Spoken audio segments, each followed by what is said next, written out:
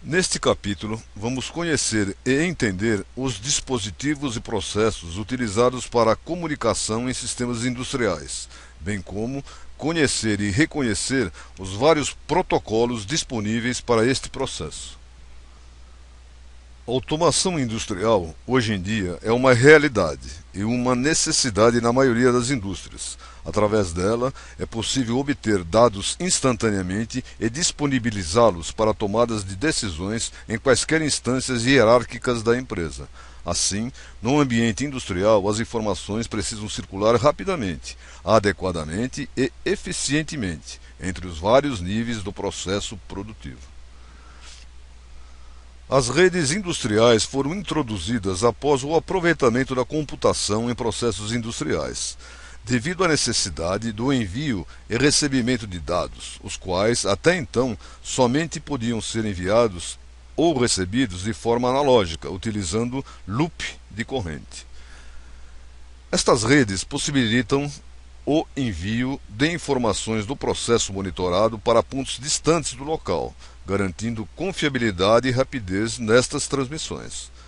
Mesmo ocorrendo em ambientes inadequados, às vezes até hostis, principalmente pela presença de ruídos causados por fontes eletromagnéticas. As redes distinguem-se entre si pelo protocolo de comunicação utilizado, ou seja, pela forma como informações são enviadas e recebidas pelo meio físico, além do próprio meio físico, que compreende, entre outras condições, imunidade a campos de indução eletromagnética, ambientes corrosivos, etc. As comunicações em ambientes industriais utilizam normalmente comunicação serial com um ou mais pares de fios metálicos. Antigamente, um par de fios permitia envio de informações de um único transdutor. Com a utilização de protocolos de comunicação específicos mais sofisticados, garantindo a integridade dos dados, hoje em dia é possível evitar uma quantidade muito maior de informações. A fibra óptica também tem sido muito utilizada como meio físico em redes de comunicação industrial, sendo aplicada de forma serial. A rede de comunicação industrial é organizada em níveis, onde são realizadas funções distintas específicas a cada nível. O nível intermediário é responsável pelas ações de controle e monitoramento, respondendo pela operação da planta industrial. Neste nível encontram-se os CLPs, os computadores, e as inter interfaces homem-máquinas, comunicando-se ininterruptamente entre si e recebendo informações dos sensores e comandando os atuadores. No terceiro e último nível estão os sensores e atuadores, coletando dados e informações do processo e informando como, quando e onde as ações devem ocorrer. A comunicação rápida e precisa entre todos os componentes e dispositivos dos três níveis é fundamental para o sucesso do projeto de automação. Existem duas topologias básicas de interligação entre equipamentos de controle e os sensores e atuadores. Uma delas, conhecida como CLP central, consiste na ligação de sensores e atuadores diretamente ao CLP, o qual permanece conectado à rede de comunicação industrial, enviando informações do processo a um nível superior. Nesta topologia, cada dispositivo é ligado ao CLP por um par de fios. Porém, em instalações de grande porte, pode provocar grande concentração de cabos e longas distâncias percorridas. A segunda opção, conhecida como rede descentralizada de controle, é utilizada em processos mais complexos, ou com cobertura de grandes áreas e distâncias de alta densidade de pontos de monitoramento. Neste processo são encontrados barramentos de campo, que são as redes de comunicação específicas para processos industriais. Através dos barramentos de campo, os CLPs podem conversar entre si e com os dispositivos que possuem entradas e saídas para intervir no processo. A característica de troca de informações descentralizada, realizada pelos barramentos de comunicação, permite uma grande redução na quantidade de cabos que interligam todo o sistema, simplificando a instalação, além de facilitar as atividades de manutenção e o remanejamento do processo. Protocolo de comunicação é a maneira pela qual os equipamentos conversam. Portanto, CLPs somente conseguem comunicar-se entre si quando estão utilizando o mesmo protocolo de comunicações. O protocolo é um conjunto de regras que especificam o formato no qual a mensagem deve ser transmitida entre os integrantes da rede. O protocolo Modibus foi criado em 1979 e possui como características configuração e manutenção bastante simples. Devido a estas características e também ser um protocolo aberto, este dispositivo é bem aceito pelo mercado até os dias atuais, apresentando simplicidade e robustez na troca de dados entre os dispositivos. O protocolo Profibus foi desenvolvido em 1987 na Alemanha e, em 1995, foi criada a Profibus International para divulgação e promoção deste protocolo de comunicação aberto pelo mundo todo. O Profibus possibilita interligar a parte de controle do sistema através de gerenciamento dos blocos de entradas e saídas e CLPs, além de outros controles externos ao processo.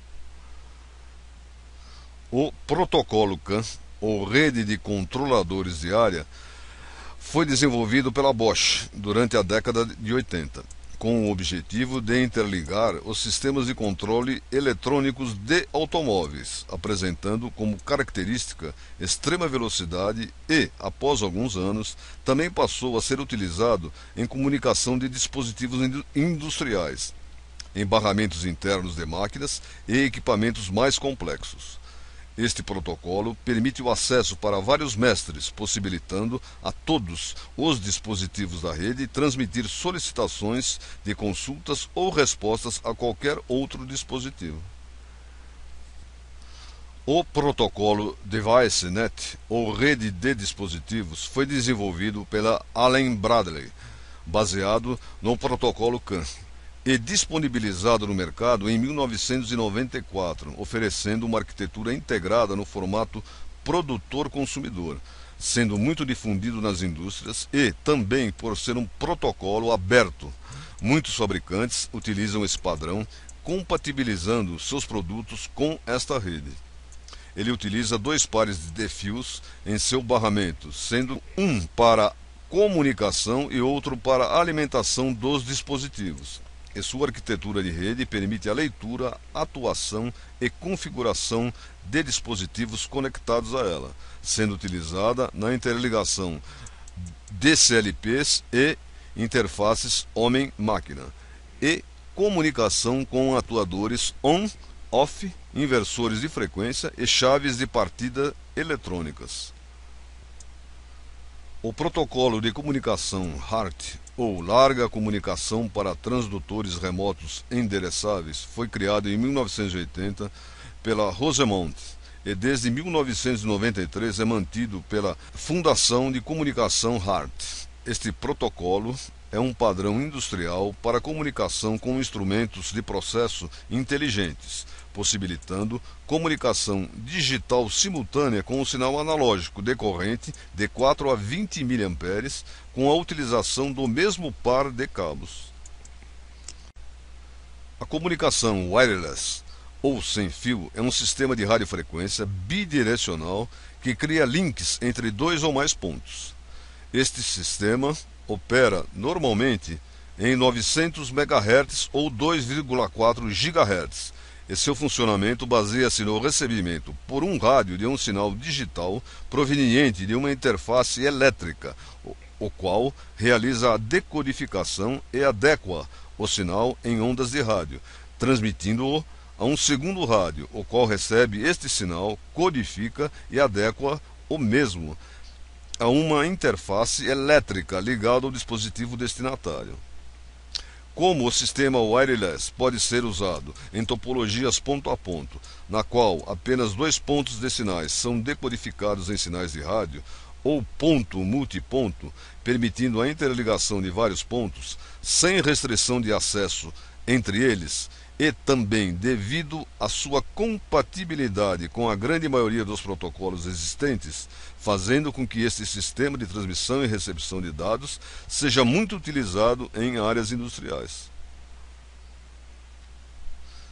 Algumas indústrias, tais como processos químicos, fundição, petroquímica, entre várias outras, requerem segurança extremamente elevada, em virtude do elevado grau de risco existente em seus processos, tanto para os operadores quanto a matéria-prima e o produto final. Estas situações exigem um controle muito mais apurado dos processos automatizados, sendo muito comum a utilização de um sistema reserva ou um controle secundário com as mesmas características do primário, que assume o comando do sistema na ocorrência de uma pane, evitando ou minimizando perdas no processo produtivo. Lembre-se, essa apresentação é um resumo do tema e não deve ser considerada como única fonte de estudo. Participe de todas as atividades propostas.